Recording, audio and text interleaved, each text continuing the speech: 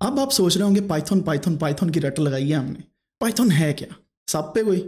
Python सांप भी होता है ना बाय द वे ये वो नहीं है। ये कोडिंग की एक लैंग्वेज है। प्रोग्रामिंग की एक लैंग्वेज है। जैसे मैं एक इंसान हूँ। मैं फैसलाबाद से हूँ। आप मेरे साथ पंजाबी भी बोल सकते हैं, मेरे साथ उर्दू भी बोल सकते हैं। ऑफ़ कोर्स मुझे जर्मन इतनी नहीं आती। जर्मन भी बोल सकते हैं, थोड़ी बहुत जितनी आती है। इटालियन भी थोड़ी बहुत आती है। बाकी थोड़ी थोड़ी लैंग्वेजेस बाकी भी सीखी हुई हैं। बट द थिंग इज़ मेरे साथ कम्युनिकेट करने के लिए यू हैव टू नो कि मुझे क्या समझ आती है। ऐसे ही है। अब मुझे आती है पंजाबी या उर्दू समझ या इंग्लिश आ जाती है तो you have to communicate with me in that language इसी तरीके से जब आप कंप्यूटर के साथ बातें करते हैं ना यू नीड टू नो कि कंप्यूटर को क्या समझ आती है। ठीक है? जैसे हम इंसान हैं, हमने सारी ज़िंदगी एक ट्रेनिंग ली होती है ज़ुबान सीखने के लिए। इसी तरह कंप्यूटर जो है, एक प्रोग्रामर है एक सॉरी मशीन है, जिसके अंदर सॉफ्टवेयर इंस्टॉल होते हैं। ठीक है? और सॉफ्टवेयर जैसे पाइथन है, ये एक प्रोग्रामिंग लैंग्वेज है, एक सॉफ्टवेयर के थ्रू इसको इंस्टॉल किया जाता है कंप्यूटर के दिमाग में, ठीक है?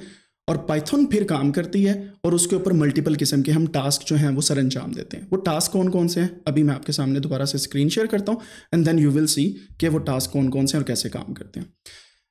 सबसे पहले जो पाइथन है ना, इसके लिए हमारे पास sorry this is the wrong slide Python है ना इसके लिए हमारे पास सॉफ्टवेयर का इंस्टॉल होना ज़रूरी है और इसके लिए हमारे पास एक सॉफ्टवेयर को अच्छे से चलाना ज़रूरी है। इसकी मिसाल मैं आपको दे देता हूँ। अगर आप मेरे से बात करना चाहते हैं you should talk to me with a medium जैसे हम अब बात करें, हमारे पास जूम है। ठीक है? इसी तरह अगर आपने कंप्यूटर से बात करनी you need something to use as a medium हम पाइथन के लिए जो चीज़ यूज़ करते हैं, उसे बोला जाता है इंटीग्रेटेड डेवलपमेंट इन्वायरमेंट या आई डी ई ठीक है? और अगर पाइथन को आप वैसे एज इट इज़ यूज़ करना चाहें यू कैन यूज़ दैट लेकिन आई डी ई के साथ उसके फ़ंक्शंस और भी सामने आ जाते हैं। ठीक हो गया? सो so, पाइथन हम एक प्रोग्रामिंग लैंग्वेज के तौर पे यूज़ करेंगे जो एक जनरल पर्पज़ लैंग्वेज है। जनरल पर्पज़ का क्या मतलब है?